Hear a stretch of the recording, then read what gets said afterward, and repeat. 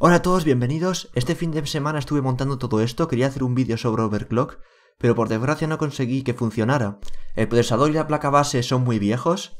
Estuve probando de todo, pero no conseguí que diera ni salida de vídeo, ni que diera energía ni al teclado ni al ratón, por lo tanto algo había roto. Por suerte, el procesador sí que se ponía en marcha, así que no he podido hacer el vídeo sobre overclock, pero eso no quita que nos vayamos a divertir un poco. Este vídeo es un pequeño topic, no es ninguna noticia, ningún vídeo informativo ni nada, es simplemente para divertirnos un poco haciendo unas locuras con un procesador y una placa base viejos antes de tirarlos a la basura. Por cierto, el procesador es un Intel Core 2 Duo a 2,4 GHz, por si os interesa. Y bueno, la calidad de vídeo ya lo siento, es la que es. No tengo una cámara profesional, ni un bípode, ni nada para grabar, tengo mi móvil. Si el canal sigue creciendo más adelante ya me montaré alguna forma de grabar con mejor calidad, pero de momento es lo que hay. Ya que no funciona, pues vamos a probar a ver qué pasa si le arranco el ordenador. He quitado todo, no he puesto gráfica, no he puesto RAM ni nada porque no quiero que si hay un cortocircuito o algo se estropee. Y bueno, vamos a arrancarlo, el procesador debería calentarse aunque no vaya a hacer nada. Y vamos a quitar el disipador y ver qué pasa. Para arrancarlo hay que hacer un pequeño truquito, como no tengo, no está en ninguna caja, hay que cortocircuitar estos pines a mano.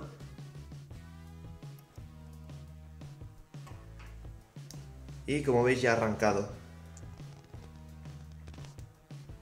Y bueno, pues eso, vamos a quitar el disipador y ver qué pasa.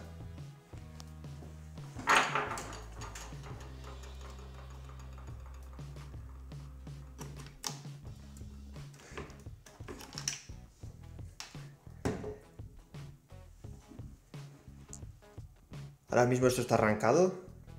No hay aquí nada.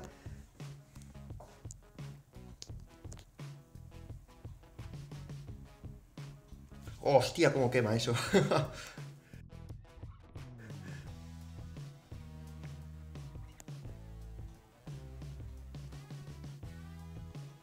y se acaba de apagar solo. Se ha apagado solo, como veis. Y joder, me he quemado el dedo al poner ahí. no ha sido buena idea eso. Y no parece que se haya quemado ni nada. Se ha apagado solo al detectar que ha subido mucho la temperatura. Y bueno, después de ver lo caliente que estaba el procesador, se me ocurrió la idea de intentar freír un huevo en él. ¿Veis esto aquí? Eso de ahí es huevo. Vamos a ver si se puede freír un huevo con un procesador. Evidentemente no he cascado el huevo ahí encima de la placa base porque estropearía todo, sino que lo he batido, he batido un huevo y lo he puesto un poquito ahí. Y vamos a ver si se fríe. Voy a arrancar esto.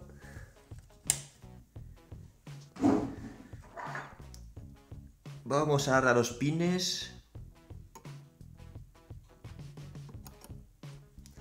Vale, acaba de arrancar.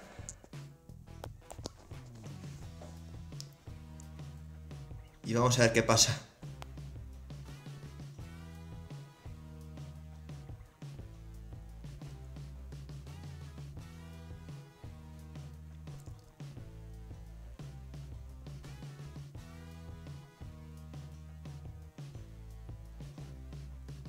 Diría que se está empezando a hacer por los bordes.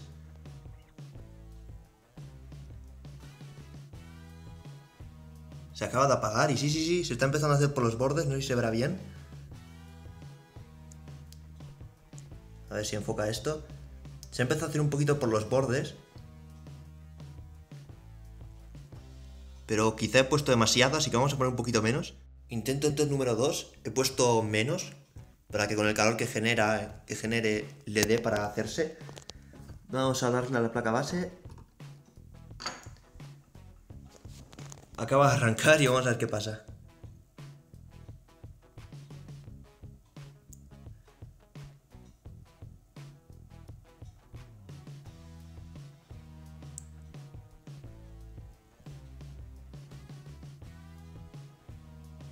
Joder, ¿se enfoca la cámara en serio? Ahí, ahí. Se acaba de apagar. Y mirad, se está haciendo. Se ha hecho un poquito más que antes.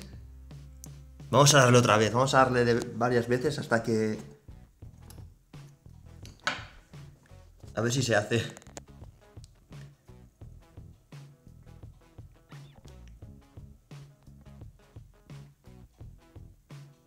Se ha apagado otra vez y se está haciendo. Le voy a dar varias veces. Y bueno, después de que se apagara, le he estado dando un par de veces más. Para que se mantuviera el procesador caliente, es decir, cada vez que se apagaba lo encendía otra vez para que se mantuviera ahí el procesador a 100 grados. Le vamos a dar una última vez. Y vais a ver que huevo se ha cocinado. Mirad esto. Enfoca la cámara. Se puede freír un huevo en un procesador. Está comprobado. Y a ver si no muevo mucho la cámara y puedo darle con un destornillador para que lo veáis. Ya.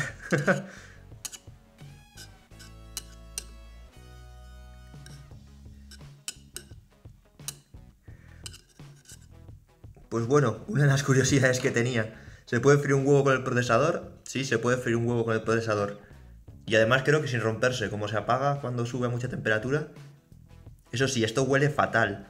No lo estáis oyendo vosotros, pero qué asco. Yo no me comería esto, sinceramente. Y bueno, por último se me ocurrió ver qué pasaba si echábamos agua sobre la placa base. Por desgracia no pasó nada interesante. Nada más caer el agua se produjo un cortocircuito, la fuente lo detectó y se apagó. Aunque no sé por qué el LED se seguía encendido, pero el ventilador de la fuente se apagó y demás. Y bueno, no fue gracioso, no salió humo ni nada, pero sí que es interesante saber que nuestras fuentes tienen todas protección y que si pasa algo pues se va a apagar al momento y no se nos va a prender fuego la casa.